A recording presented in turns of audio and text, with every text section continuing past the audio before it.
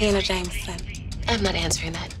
Ian. My money's on Jameson. Girl, big Ian. Intellectual Jameson. Did you see how she cried over the Ian? Have you seen his feet, Jameson? That ain't that. Girl, that's you on my lips. Hey. Hey, good afternoon, Tyler. My name is Amaya Designer from Big Gold Media. How you doing today? I'm doing well. How are you?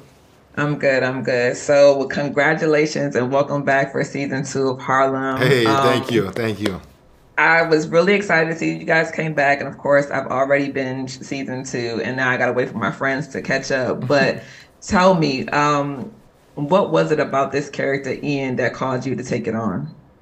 I would say the number one thing that I saw, even when I was just reading the breakdown before I went into the initial audition, um, that I've also seen showcased throughout, you know, where we're at up until this point in season two, is just the fact that he was written with so much uh, like contrast and juxtaposition, if you will.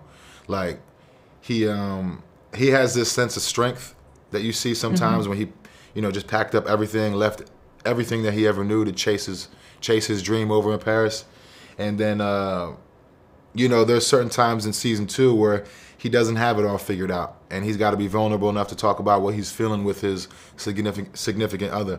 And even you know, you could you could see that even in the first the first uh, audition that I had. So that's that's really what drew me to the character because I feel like that's uh, who we are as humans. We're not one note. Yeah, I agree with you absolutely. Yeah. Um, what is your favorite thing about Ian? Like, where do you see the either the similarities or the differences between you and? I would say that um, you know he doesn't he doesn't have it all. One thing I like about him is that he doesn't have it all figured out. You know, and, and through and through him picking the pieces up and, and trying to figure out what to do moving forward, we learn a lot about him. Um, you know, I feel like if he was just one strong note the whole time, you know, it's, it's difficult to learn, uh, uh, you know, about someone like that or, or to be able to empathize with them in any type of way. And then um, it was, there was a second part to your question I really liked. What was it? Um, Sorry, I wanted. I forgot. No, I no, it's to okay. it. it's okay. I was saying that, um, like, what were the differences or the similarities? Like, Yeah, yeah. I would say one of the biggest scenario, oh, scenarios, one of the biggest similarities between Ian and myself is that we are truly uh, two men that are in process trying to figure out who we are and what we stand for in life.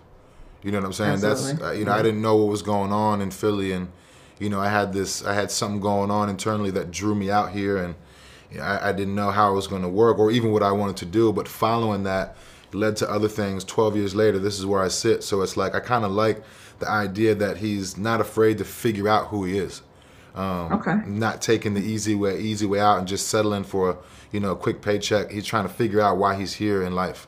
Um, Yeah. I would say one of the biggest differences is that uh, you know I might be able to whip up a little something, but I, I can't cook like Ian. You ain't no real I can't chef. cook like Okay. Ian now. it's all good. Well, you know what? I, I'm really excited. I feel like your character is very diverse. It's something that black men need to see on camera, both the feminine energy and the masculine energy. And before I go, last question would be, um, what's your favorite episode this season for season two? You know, I have a lot of fun in that in that episode four, where they're trying to teach each other new tricks in the bedroom, and they're getting you know they're getting high, and you get to see a side of Ian, Right. and, Cam- Ian and Camille that we haven't seen yet. So I really love that.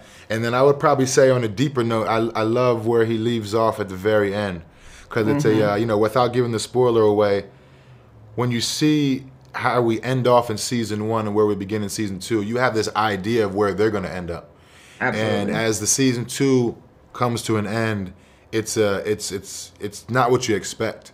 Um, and Yeah. then within that, there's a great lesson to be learned. You know what I mean? I feel like uh, you know we go through these storms for a reason. It's not uh, you know it's it's it's for no other reason than than to get stronger. You know what I mean? Yeah, Even if it comes off like it's a loss or it's something different than you may expect.